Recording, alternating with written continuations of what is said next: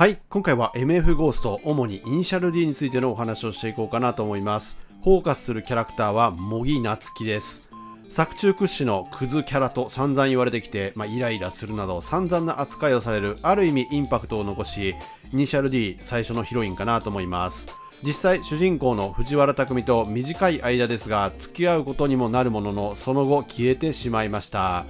今回の動画ではそんな模擬夏樹ですが様々な視点で見ていこうと思います一部ではあまりにも嫌われて消されたという意見がありますが実はそれだけではないと思いますし必要だったと思いますこちらについては重野先生も明言していることなのでそこを掘り下げていこうと思いますぜひ皆さんの夏希のご意見や感想等あればコメントお待ちしております。いつもたくさんのコメントありがとうございます。動画制作の参考及び励みになっております。では早速本題へ移ろうと思います。まずは模擬夏希の詳細からですね。主人公である藤原匠の同級生にして彼にとって作中1人目の彼女となります。一人称は夏希です。本編で初登場時は急に匠と樹に絡んでくるイメージですがその経緯は過去に遡りますもともと匠と同じサッカー部に所属していてマネージャーをしていたのが夏希でした以前は先輩のミキとね付き合っていたんですけれどもミキが部室で模擬のセックスは俺が仕込んだという話を自慢げに話していたことに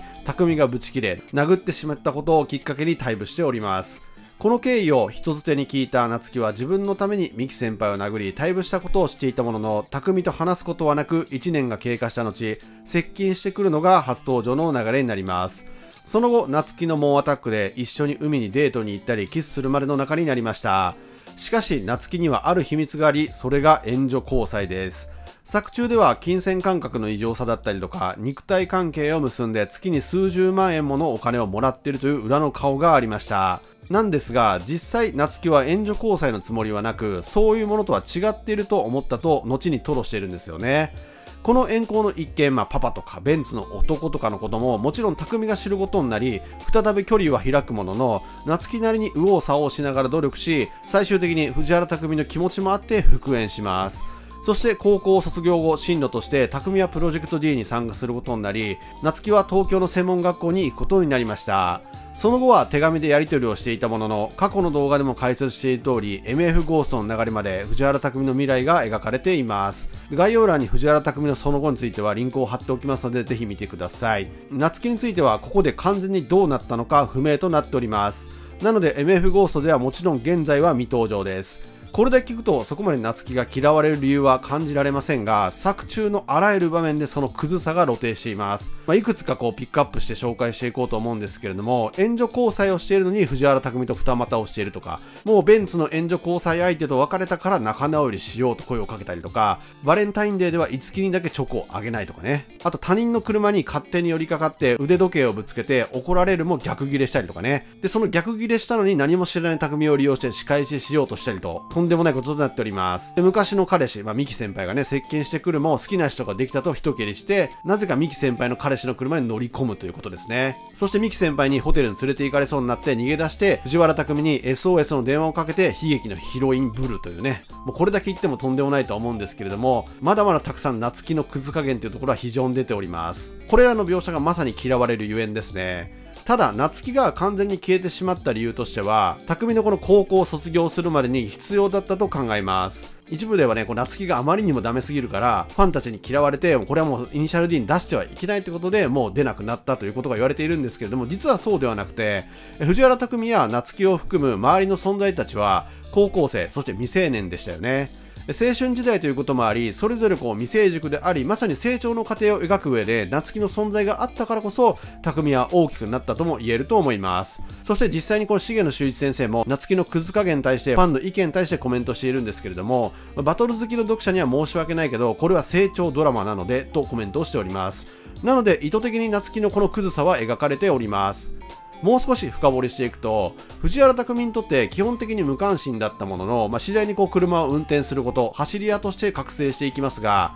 夏希がいたストーリーとしてちょうどアニメでいうとサードステージまでなんですよねサードステージの最終的な匠の着地点としては、プロへの夢を決意します。まあ誰にも負けない頂点に立つドライバーになりたいとね、夏希にも告げていましたよね。まさにドライバーとして覚醒から自らの夢へと昇華するのがこの夏希と過ごした日々なんですよね。その中で夏希の援助交際を知った後、須藤京一のバトルでの精神的な怒りに走りを経験したりとか、そしてエンジンブローをさせるという二重の意味でも匠にとって大きな出来事であって、成長の過程、まあ、経験になったと思います。つまり、夏希がクソでなければ、こうはならなかったかもしれないんですよね。一方、夏希はそもそもこう育った環境が問題だったのではないかという点ですね。サードステージで、まあ、雪の中ね、ミキ先輩のセリカに乗って、まあホテルへ連れ込まれようとするんですけれども、匠が駆けつけます。で、最後に匠からこう思いを伝えて告白するんですけれども、この時夏希は男の子の前で泣くなんてというね、溢れる感情を抑えることができず泣いています。これに対しては、夏希のもちろん藤原匠の好きな本心ではあるんですけれども、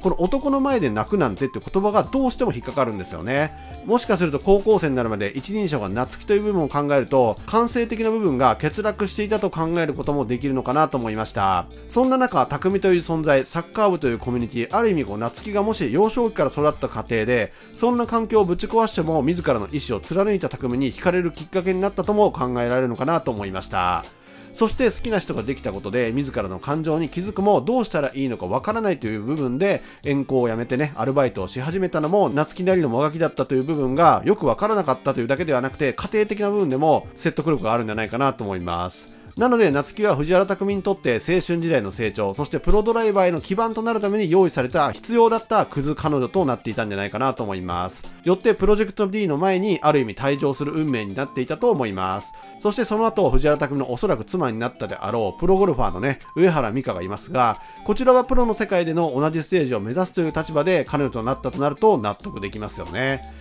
では最後に MF ゴーストでは夏希はどうなっているのか。先ほども説明しましたが東京の専門学校へ進学をしております。その時何の専門なのかは不明となっていましたがサードステージではレンタルビデオでアルバイトをしながら講義中はうとうとしている姿が描かれております。その時ノートに逆光についてというね文字が書かれているんですよね。こんな感じでノートを取っております。もう少しね、細かい文なんですけれども、相当眠かったんだと思いますが、光源が見る人の前にある場合とか、光源の方向はってところが書かれているんですよね。この言葉から、まカメラとか映像関係、もしくはそれに伴う授業なんじゃないかなと思います。なのでもしかすると MF ゴーストに登場するのであれば MFG のカメラマンだったりとかもしくはエンジェルスの衣装に関わってくる人物として登場してくるかもしれませんよね。まあ、もはやこう別人と感じるレベルの大人になっている茂木なつきを見てみたいですね。まあ、そうもし成長しているのであれば、藤原匠がプロのドライバーとして目指す夢のね、姿を見て、茂木夏樹も大きくなったと考えると感慨深いんじゃないかなと思います。